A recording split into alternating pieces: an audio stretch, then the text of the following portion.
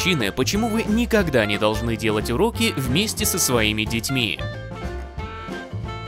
Вы уже давно закончили школу, но до сих пор делаете уроки? С чего вдруг? Ну конечно, без вас ваш ребенок ничего не сможет сделать и в итоге будет самым отстающим в классе. Да, ваши благие намерения понятны, но на самом деле вы совершенно не помогаете своему ребенку. Вместо этого вы приносите больше вреда, чем пользы, и скоро узнаете почему. Оставайтесь с нами до конца видео, и вас ждет очень полезный бонус. А пока не забывайте, что на нашем канале много других полезных и интересных видео, которые появляются каждый день. Так что подпишитесь и нажмите на звоночек оповещений, чтобы быть в курсе всех новинок. А теперь давайте вернемся к нашей теме и узнаем, что по этому поводу думают эксперты.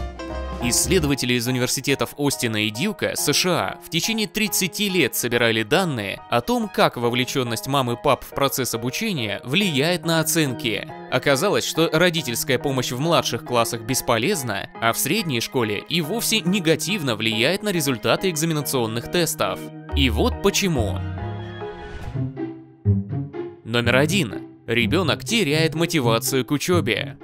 По результатам исследования, проведенного группой немецких психологов, чем больше родители вовлечены в выполнение домашних заданий, тем меньше ребенку хочется учиться. Самая низкая мотивация у тех детей, родители которых сидят рядом с ними, подсказывают, контролируют или даже сами делают за них уроки. А вот школьники, которым родители не дышат в затылок, учатся охотнее. Попытайтесь ослабить контроль и помогайте только если ребенок сам попросит вас об этом. В таком случае объясните ему то, что ему непонятно, но не делайте задание вместо него.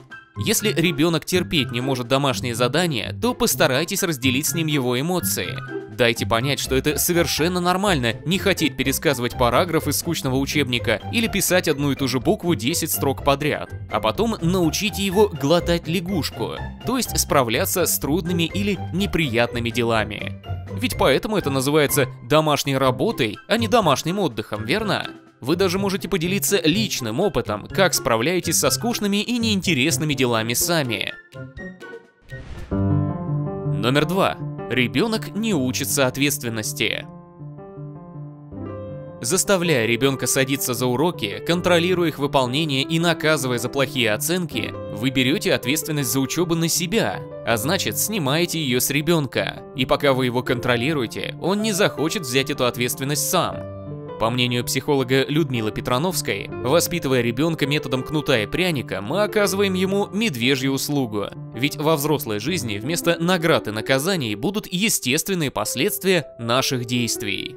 Твой проект нужно сдавать вчера, а ты даже не начинала его делать. Тогда тебе придется самой объяснять учителю, почему.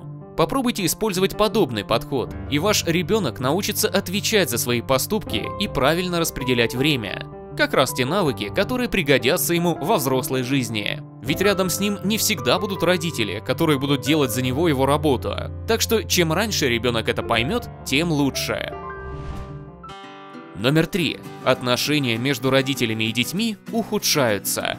Если вы пытались выучить со своим ребенком поэму Бородино для завтрашнего урока литературы так, что даже все соседи ее уже выучили, то что-то нужно менять.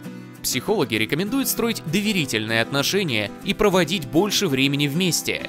Используйте технику совместного чтения, обсуждайте научные события и мир вокруг, делайте что-то интересное. Джули Литкот Хеймс, психолог и автор популярных книг по воспитанию, утверждает, что это совершенно нормально интересоваться, над чем сейчас работает ваш ребенок и даже помогать ему разобраться в задании. Но на этом ваша помощь должна заканчиваться.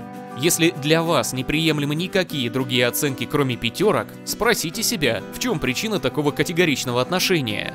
В семье, где двойка может стать причиной скандала, дети не чувствуют, что они любимые, вне зависимости от их успехов и провалов.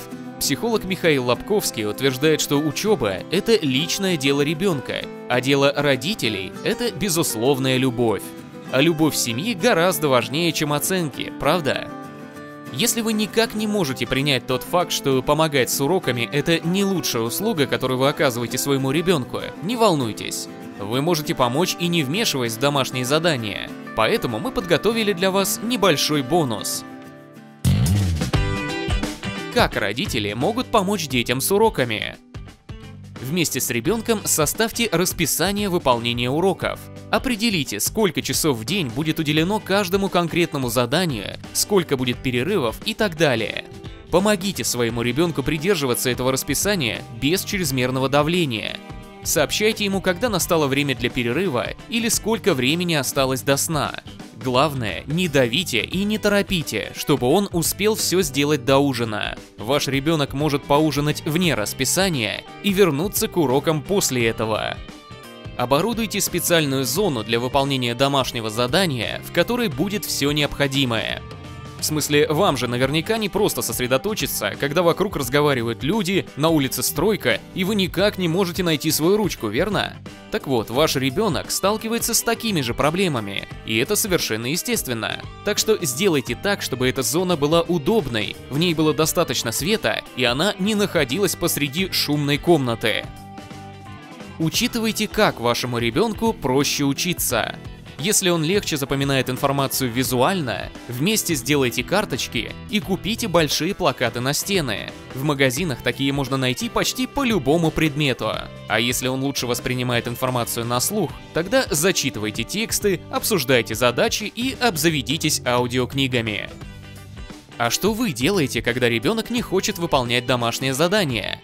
Или, если вы школьник, какой помощи вы бы хотели от своих родителей в этом деле? Напишите в комментариях.